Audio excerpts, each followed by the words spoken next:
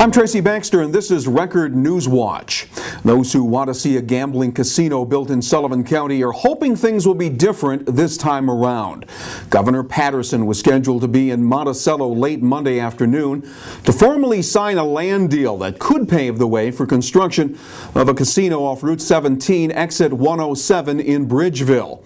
On the table is an agreement with the Stockbridge Munsee Mohican tribe that would provide state support for its casino proposal in exchange for settlement of a long-standing land dispute in upstate Madison County.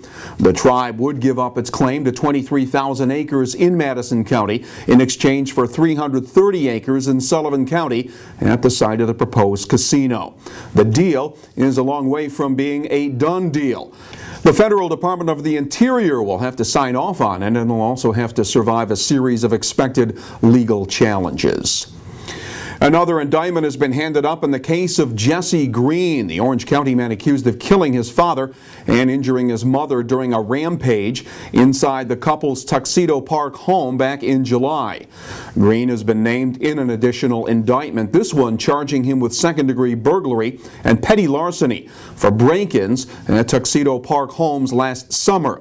Green is under indictment for first-degree murder and second-degree assault. Authorities say he killed his father father, 66-year-old Daniel Green, inside the family's home on Lookout Stable Road. 62-year-old Jacqueline Green was injured and then tied up when she tried to intervene. Elsewhere, Port Jervis police have arrested a Pennsylvania man following an alleged sexual assault over the weekend. 31-year-old Timothy Ward of Johnstown, PA, is facing charges of first-degree rape and criminal sexual act for sexually assaulting a Port Jervis woman inside a multi-family residence on Pike Street Saturday morning. City police added the charges of DWI, aggravated unlicensed operation of a motor vehicle, and marijuana possession after Ward was pulled over. He was being held on $25,000 bail in Orange County Jail. The counting was continuing in Dutchess County today for an area political race where a winner hasn't been declared and it could ultimately come down to just a handful of votes. At stake is the 100th District State Assembly seat, now held by Democrat Frank Skartados.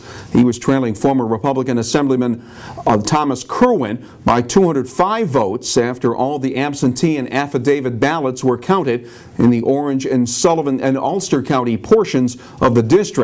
670 absentee ballots are being counted in Dutchess, where Skartados carried a majority of the election night votes. That's fueled speculation that the final vote count could be extremely close and that the race might come down to a legal challenge and a judge's ruling. Well, if you're planning to take to the air for the upcoming Thanksgiving weekend, your trip to have dinner with the relatives could become a real nightmare. A protest is in the works for Wednesday, the busiest travel day of the year. That could make flying even more of a hassle. A number of people upset with the new security boarding measures at airports that include full body scans and invasive pat-downs have taken to the internet to put together National Opt-Out Day calling on travelers to boycott the new tighter security measures. Officials with the American Society of Travel Agents are worried that if some passengers refuse to submit to the new procedures, it'll seriously disrupt air travel on the day before Thanksgiving. And it's a time of great expectations in the city of Newburgh, where the former Armory building will soon become a community center. The so-called Armory Unity Center is coming together following months of volunteer work to renovate the old building.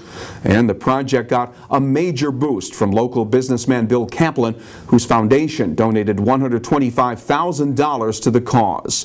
The opening weekend festivities, including dance demonstrations, basketball, and soccer clinics, will kick off this Friday at 1 p.m. with a ribbon cutting ceremony.